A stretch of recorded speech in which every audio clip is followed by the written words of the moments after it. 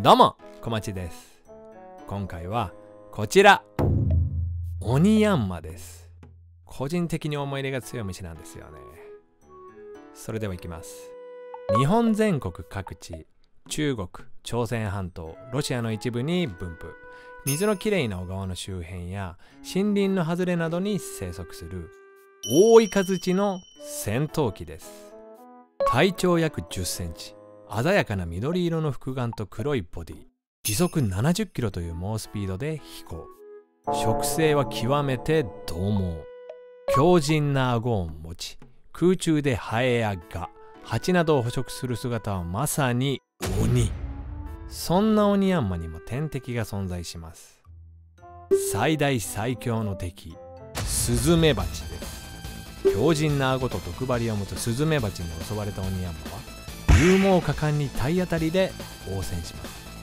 相手が弱ると隙をついて噛みつきなんとそのまま食べてしまうんです。時には負けることもありますが鬼ヤンマはマジで強いです。ただね目が悪いんですよ。オスは羽ばたくもの全てをメスだと思ってしまうくらいに目が悪いんですね。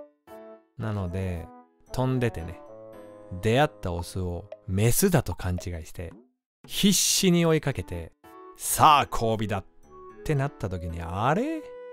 あすいませんでした。みたいな。動体視力は抜群なくせに複眼のせいできちんと物を見分けられないおっちょこちょいな一面も持ってます。とても強いのに可愛らしい。愛されプロレスラーみたいな。そんな生き物です。オニヤンマって大きくて強くて噛む力がすごいんですよ。なので自分にとってはカブトムシやクワガタみたいなヒーローなんですよね。それでは行ってみましょう。出現する時期は5月から10月。時間帯は8時から17時。場所は空中ですね。空中なのでもう島中を走り回るしかない。ミイロ立て早よしはあ美しいわね。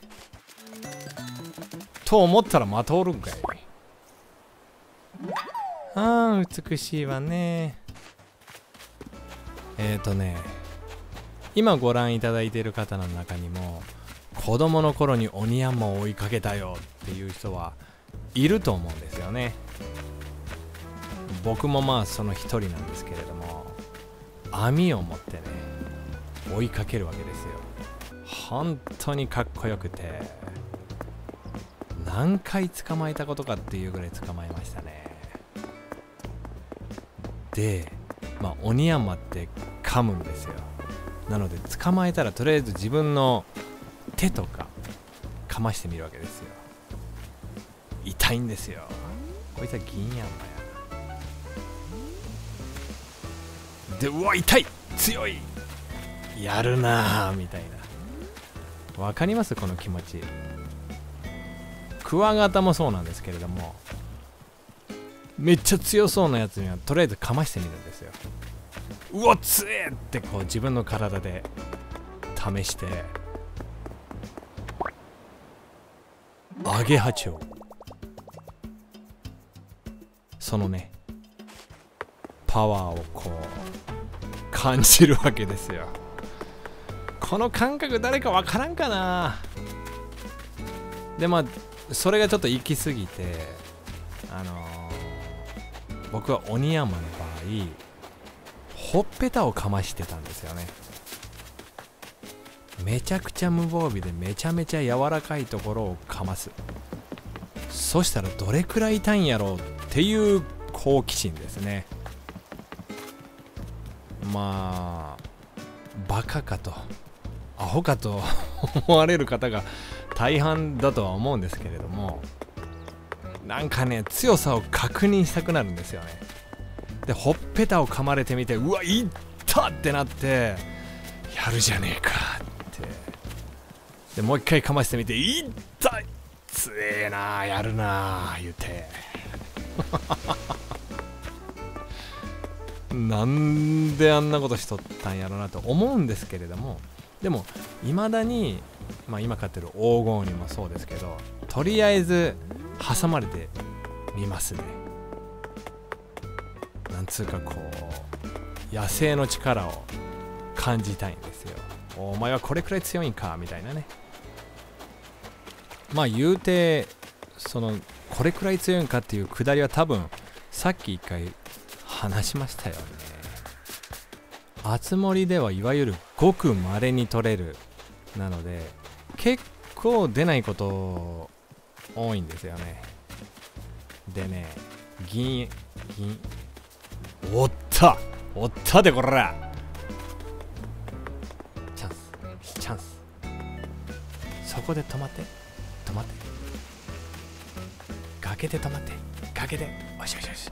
これ完璧や。よしもろた。よしオッケー。かっこええな。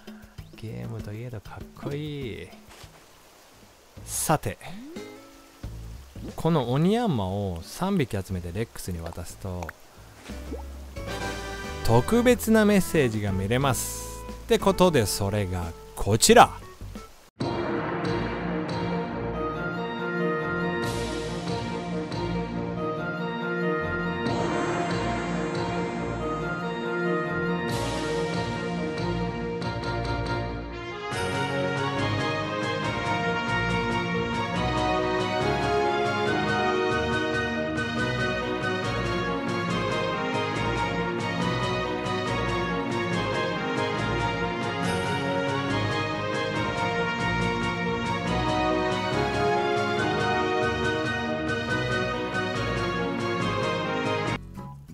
そして手に入れましたのがこちら。大いなるトンボの模型ですね。かっこええな。ああもうディティールとか最高。もうこの黒と黄色がまさに虎のようですよね。そらスズメバチとも戦うってわけでね。多分ねスズメバチと戦う時は鬼山はこういうはずです。おい食ってみな。